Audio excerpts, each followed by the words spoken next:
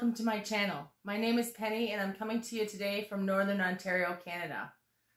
I've been missing for a couple weeks so I have quite a bit to show you, so let's jump right into it. Pamela at Pamela's Adoring Crochet put out a pattern for a pocket shawl. I fell in love with the pocket shawl and made it right away. Several people have seen mine and requested pocket shawls for themselves or for loved ones. So I've been on a pocket shawl mission lately, and I have three to show you. the first one I have is just gray, and I have managed to learn how to do the half double crochet foundation chain, and it makes both sides of the shawl stretchy, which I really like. Pamela's pattern is, is quick to make up, and I find fits most people. However, I have moved the pockets on a couple because they are for shorter people and their pockets would be required to be a little higher. This one, a friend stopped in and seen my shawl and said she liked my shawl very much and she preferred the color plum. So this is going to be a Christmas present.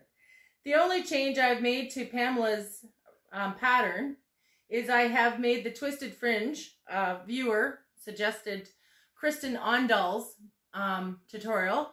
I went over and took a look at it and I have started trying to make it. They're not perfectly aligned yet, but I do like the way that they don't tangle up like the other ones does. My my pocket shawl has had two little haircuts after it's been washed, and I have removed the fringe from it now and plan on doing a um, twisted fringe on it too. The only real difference I have made, I followed her pattern exactly, except around my pockets I have done a single crochet, and that's just simply to firm it up so that it's easier to sew for me. Um, again, the twisted fringe. I'm really liking it. I'm not a professional at it yet, but who's going to stand there and measure each one of their little fringes anyhow? I have a couple more of these to make, and then I will be done. They have all been made with the Bernat Cozy Style yarn. There's um, 1,013 yards in this, and this is what you're left with, which makes a couple nice little granny squares for my collection. Um, I'm happy that it uses the entire ball. It's only $9.97 to buy. I buy it at Walmart. I love it. It's soft and um, Bernat's one of my favorite yarns. The next thing I managed to make is last month I made this hat. Um, the pattern came from Crochet from Baby. All of the links that I mentioned will be in the description box below. But I took the, same, the stitch pattern from that, the stitch count, and made a cowl to go with it. This is going to be for me. I don't wear a lot of hats, uh, but the only time I wear a hat is when we toboggan with the grandchildren on New Year's Eve. So this is going to be my set, and I'm going to keep it for myself. I bought from Spinrite, uh, buy three, get one free crochet um, cotton, um, just a handicrafter cotton. Uh, the colorway is um, variegated pepper, I think is what it's called. And I got four balls of it. It's darker than I like. Um, but I'm using it. I plan on uh, donating some of these. I made eight pot holders. I plan on keeping two for myself. I think they're the perfect size for me. Um, my kitchen's in brown, so they'll match quite nicely. I find they're a bit darker than normally I like for the kitchen stuff um, that I that I give to the girls and stuff.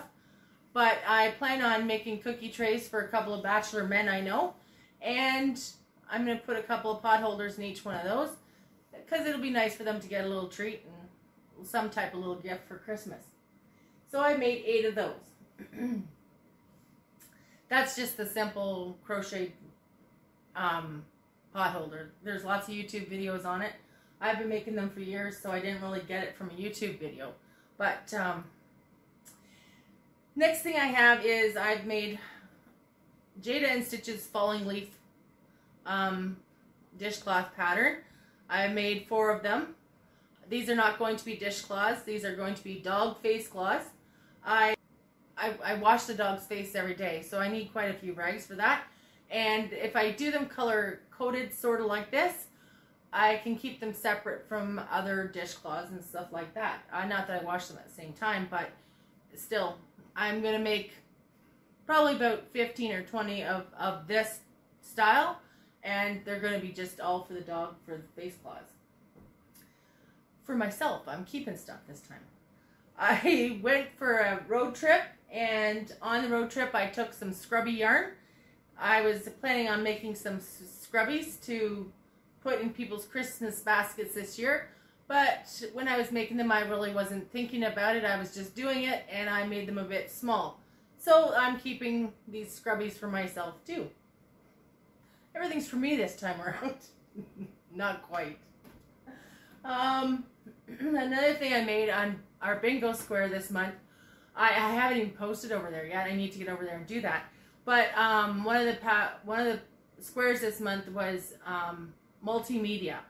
And what she meant by multimedia is uh, you crochet something and then you use buttons or clips or clasps or rubber bands or with it, that makes it multimedia.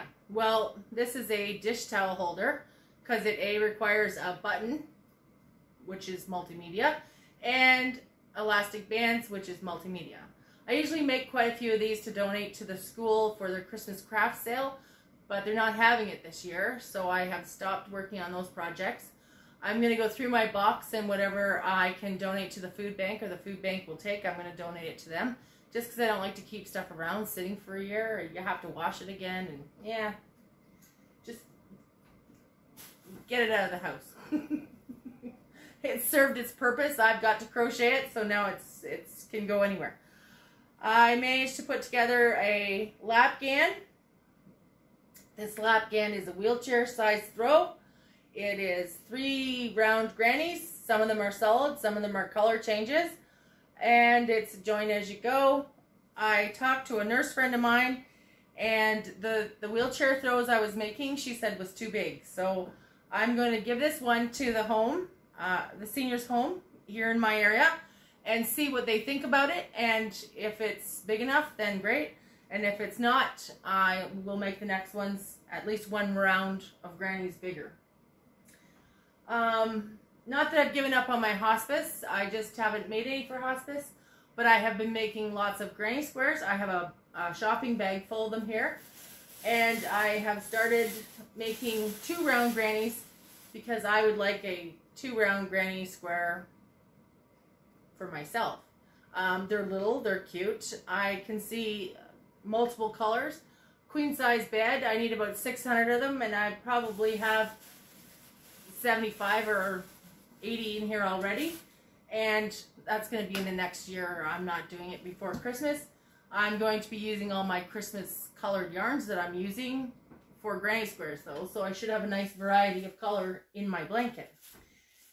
The next thing I managed to make was, this is Debbie the Canadian Crocheter's pattern. It's a um, front post no name beanie, she called it. I have one tail in this one that I'm trying to hide from you. This is a small toddler size one.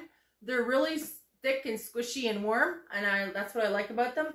And I put a three rows of um, camel stitch, as it sticks out. Three rows of camel stitch around the, the brim, just to give it a bit of a brim. I did one that's a larger child, like 8 to 10 years old, for donation and I did a man size one. Uh, this one is a front post, back post brim on it. It's not the camel stitch and I don't like it as well. I might go back and make this brim a bit longer just to make it maybe look better. We're going to see. And this one here, it has a string on it only so I can tell which one it is because this is is for someone for Christmas in my family. And that appears to be all I have to show and tell you this time. So if you stuck around to the end, thank you very much. Um, I will link all the people I've mentioned in in the description box. Trying to keep this short and sweet because I do plan to do another video. And um, if you've had a chance, play with a little bit of yarn. Have a good day, guys.